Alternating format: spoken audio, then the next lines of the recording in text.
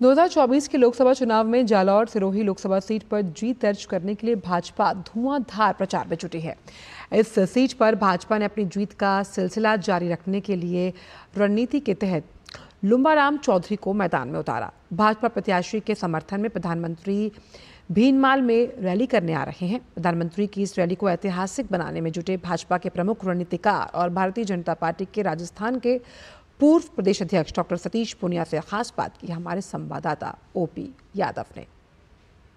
26 अप्रैल को राजस्थान की 13 लोकसभा सीटों में मतदान होना है। इन्हीं में मारवाड़ की जालो सिरोही लोकसभा सीट भी है। ये लोकसभा सीट काफ़ी महत्वपूर्ण है और इसी पे प्रधानमंत्री नरेंद्र मोदी सभा को संबोधित करने के लिए आएँगे। अभी हमारे साथ इस रैली की तैयारियों के विषय पर प्रदेश अध्यक्ष रहे हैं सतीश पूनिया जी। बात करते हैं, सर, आप लगातार यहाँ डेरा जमाए हुए हैं और कार्यकर्ताओं से वन टू वन फीडबैक भी ले रहे हैं। प्रधानमंत्री जी की रैली है, किस तरह की तैयारियाँ हैं?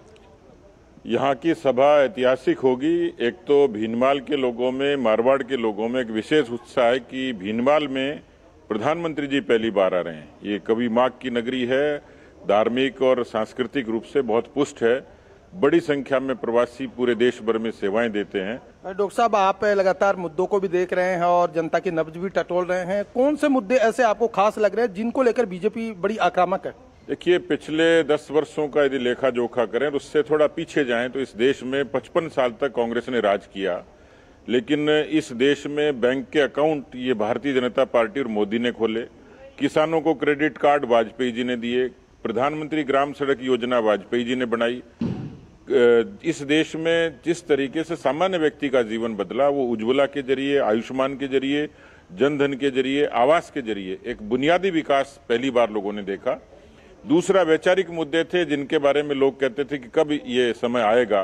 राम मंदिर बना 370 खत्म हुई, ट्रिपल तलाक लागू हुआ इस तरीके की जितनी योजनाएँ थी उससे लोगों में भरोसा पैदा हुआ। है संगठन की पकड़ बड़ी मज़बूत है आपकी और वो पकड़ जो है वो यहाँ किस तरह का रिज़ल्ट देगी? एक आवरण है लेकिन अंदरूनी तौर पर जालोर सिरोही की जनता ने भारतीय जनता पार्टी को एक साधारण से कार्यकर्ता लुम्बा राम को चुन लिया है। बात करें प्रधानमंत्री की लोग प्रधानमंत्री का उद्बोधन सुनने के लिए आतुर है जगह जगह मैसेज भी आपने भिजवाया। किस तरह का उत्साह लोगों में प्रधानमंत्री जी के तेजस्वी ओजस्वी और प्रेरणादायी भाषण को सुनने को? पिछले कुछ वर्षों से देश के नौजवानों में और देश के जितनी छत्तीस कौमें हैं और उसमें भी खास तौर पर आ, किसान गरीब महिला और नौजवान प्रधानमंत्री जी के उद्बोधन की एक विशेष अपील रहती है और वो कुछ न कुछ नई बातें कहते हैं।